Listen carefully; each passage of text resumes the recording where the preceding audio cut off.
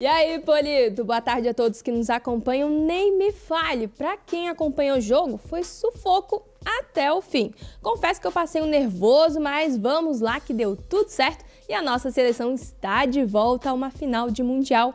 Giovanni Martinello atualiza tudo pra gente da Copa do Mundo de Futsal. Boa tarde, Giovanni.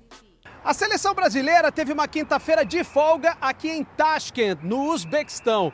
O dia foi para aproveitar os familiares que já chegaram à cidade para a reta final da Copa do Mundo de Futsal. Amanhã a seleção volta a treinar, aí já se preparando para a final e já conhecendo o adversário, que sai daqui a pouco do duelo entre Argentina e França, que aliás estão jogando nesse momento aqui na Umo Arena. Ontem na vitória para cima da Ucrânia por 3 a 2 um catarinense foi o principal destaque. Diego Zufo, de Palmitos, capitão do Barcelona e da seleção brasileira, foi o autor dos três gols da vitória para cima da Ucrânia, que vendeu caro o resultado.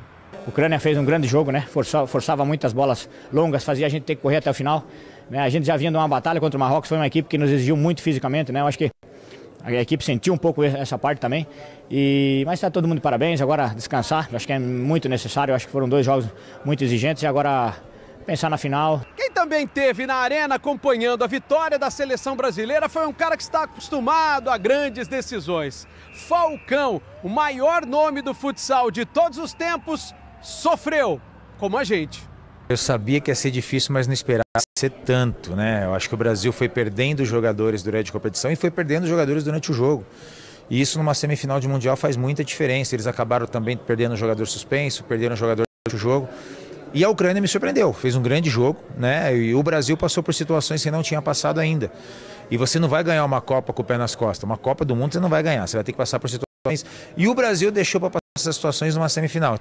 Falcão vai aproveitar a viagem aqui para Tashkent para conversar com o presidente da FIFA, Gianni Infantino, e entender por que o futsal ainda não se tornou um esporte olímpico. A briga nesse momento é essa. De Tashkent, no Uzbequistão, para o Balanço Geral, Giovanni Martinello.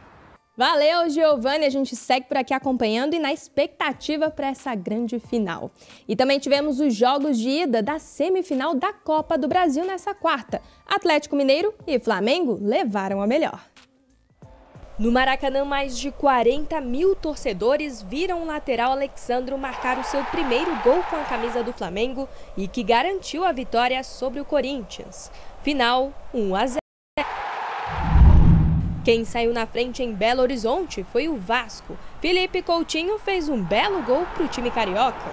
O empate do Atlético Mineiro veio ainda no primeiro tempo. Guilherme Arana pegou de primeira e deixou tudo igual. E a virada teve lei do ex. O atacante Paulinho, de cabeça, deu a vitória para o time mineiro. Final: Atlético Mineiro 2, Vasco 1. É isso, amanhã a gente se encontra aqui no Esporte. Polito, volto contigo. Valeu, Alice. Até amanhã.